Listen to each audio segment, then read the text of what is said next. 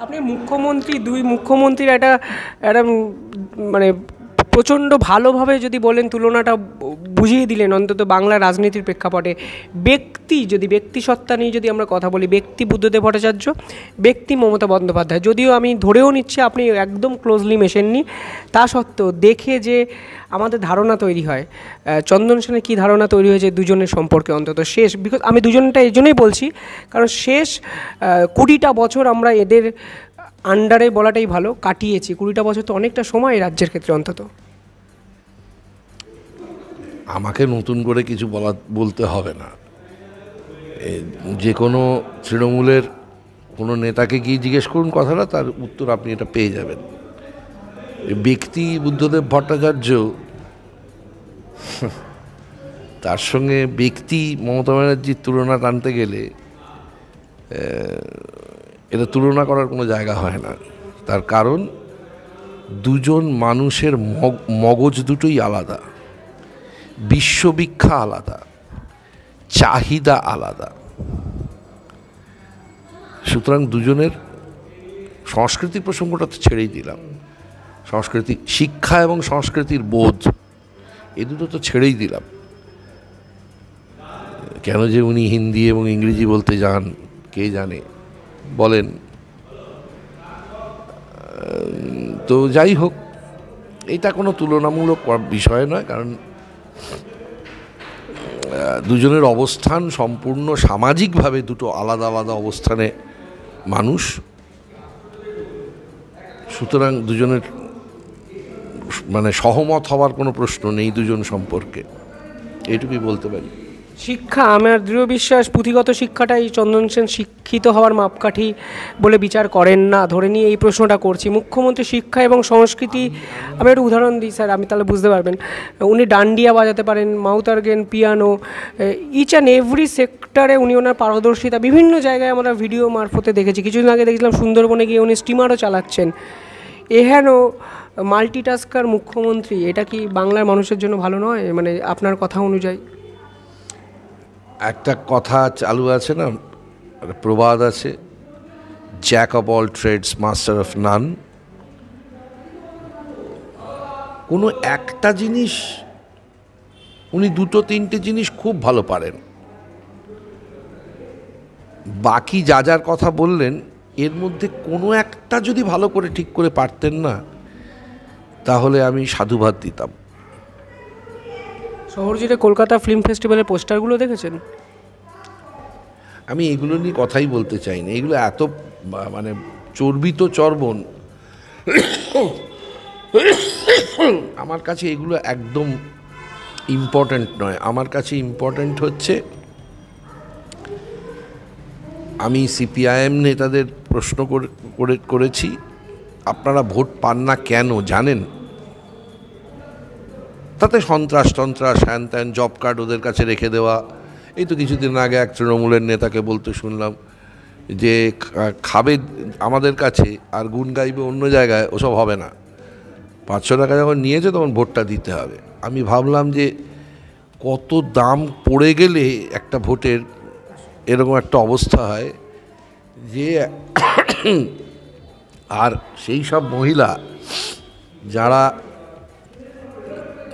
এদের কি মানে পরিপার্শ্বে কোনো এমন কোনো মানুষ নেই যে যারা বলছে, ওরে, বা তার বরই বলতে পারেন, আরে আমার চার হাজার টাকা রোজগারের থেকে পাঁচশো টাকা নিয়ে আমাক তোমাকে দিচ্ছে।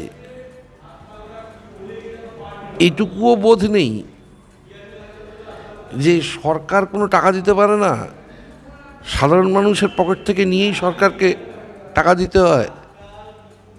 কি জানি, আমি জানি না। এই বোধও যদি না থাকে, তাহলে সেই দেশটার যা যা পাওয়ার কথা তাইতেই পাচ্ছে।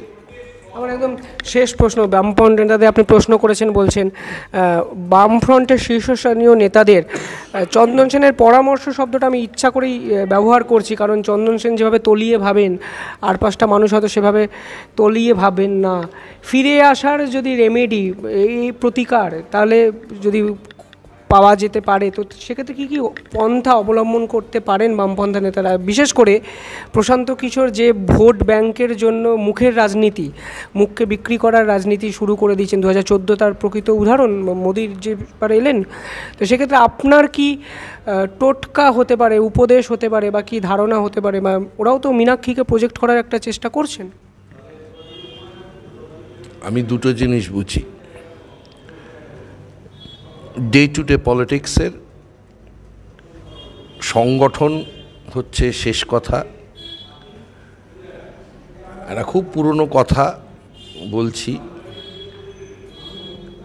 পার্টির মধ্যে এবং সমাজের মধ্যে মতাদর্শগত মতাদর্শগত শব্দটা আমি বারবার করে বলছি। মতাদর্শগত অর্থাৎ বামপন্থী মতাদর্শগত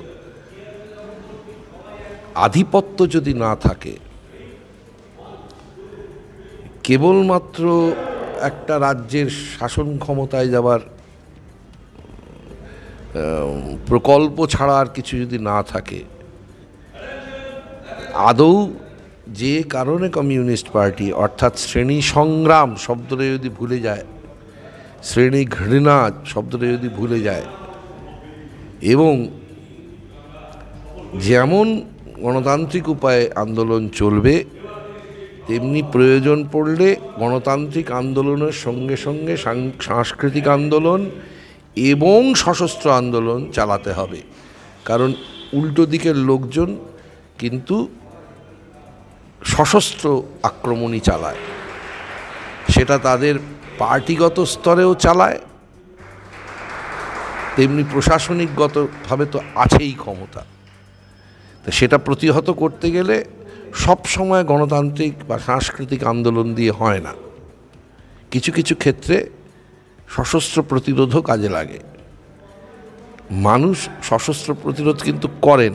আপনারা লক্ষ্য করলে দেখতে পাবেন, এরই মধ্যে বেশ কিছু জায়গায় দেখেছেন, পুলিশ দৌড়চ্ছে, গ্রামের মহিলারা হাতে দা, কাটারি, শাবল, গাঁইতি নিয়ে গ্রামের মানুষ তাড়া করেছে। এই দুদিন আগে মালদায় দেখেছেন।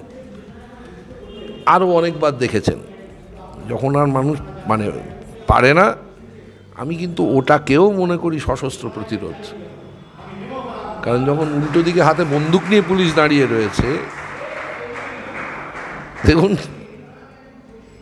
আমি না অনেক বেশি, যেহেতু আমরা এশীয় দেশের মানুষ তো, আমি সবসময় এই সব ক্ষেত্রে জিজ্ঞাসা করি ভিয়েতনাম জিতেছিল কি করে?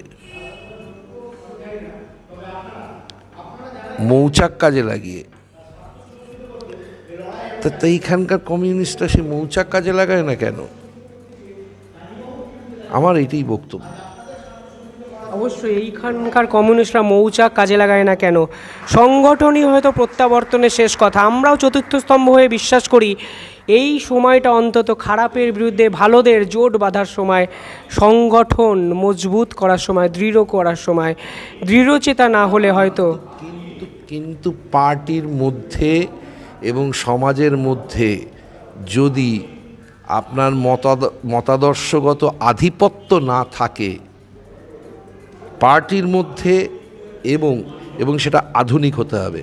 আর মার্ক্সবাদে মানুষের আস্থা থাকার কারণটাই হচ্ছে, এটাই ইনি শেষ বলিয়া গিয়াছেন বলে কিছু হয় না। আজকের তারিখটা, আজকের তারিখের বিজ্ঞানের প্রযুক্তির এই উল্লম্ফনকে মেনে নিয়ে সার্বিকভাবে যে চূড়ান্ত মানে কি বলব একেবারে মানে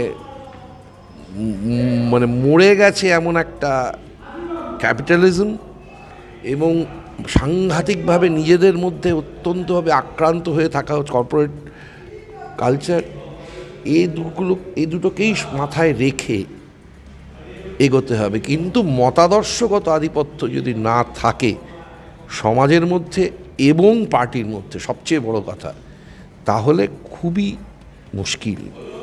অবশ্যই, তাহলে খুবই মুশকিল। দৃঢ়চেতা হতে হবে, দৃঢ়চেতা আধিপত্য বিস্তার করতে হবে এবং অবশ্যই আধুনিক সমাজ বিজ্ঞানকে প্রশ্রয় দিতে হবে। চন্দন সেন হয়তো সেটাই জানালেন। যাই হোক, দেখতে থাকুন দ্য ইন্ডিপেন্ডেন্ট বেঙ্গল। ইন্ডিপেন্ডেন্ট জার্নালিজমকে এইভাবেই সমর্থন করুন। যেভাবে আমাদের ভিডিও দেখছেন, সেভাবেই দেখুন। লাইক, কমেন্ট, সাবস্ক্রাইব একটু করে দেবেন। ধন্যবাদ। ধন্যবাদ